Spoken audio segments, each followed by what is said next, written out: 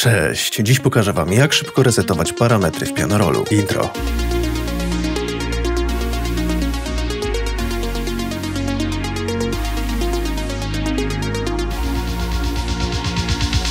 Wesprzyj mnie na patronite.pl.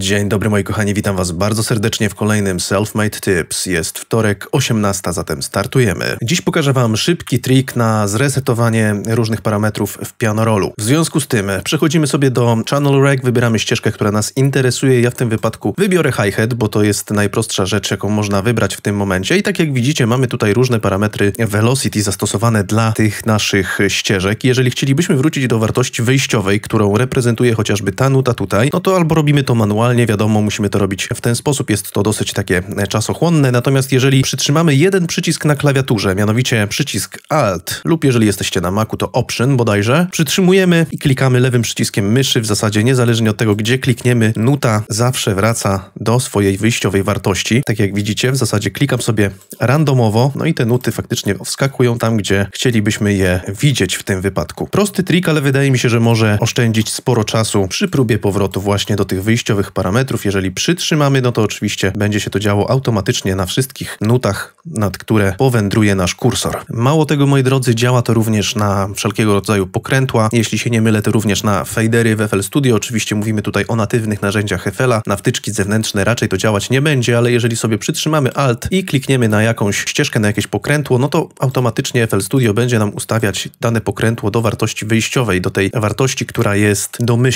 Tak samo, moi drodzy, oczywiście z faderami na mikserze, ze wszystkimi pokrętłami na mikserze również będzie działać przytrzymanie altu, lewe kliknięcie myszy i automatycznie nasza ścieżka wraca do wartości wyjściowej, jeżeli chodzi o dany parametr. Z ciekawych rzeczy ten przycisk alt działa również w momencie, jeżeli chcemy przywrócić widok, czy tam zoom naszego okna do wartości wyjściowej. Klikamy sobie alt, następnie lewy przycisk myszy, no i automatycznie wszystko wraca do normy. Tak samo się dzieje na playliście. Tak jak widzicie, od razu nam się wycofał ten cały zoom, ustawił się w wartości wyjściowej. No musicie przyznać, że dosyć e, przydatna rzecz, zwłaszcza z tymi nutami w pianorolu. Dajcie znać w komentarzu, jak wam się podobał ten trik. A z mojej strony na dziś to tyle. Trzymajcie się ciepło i cześć.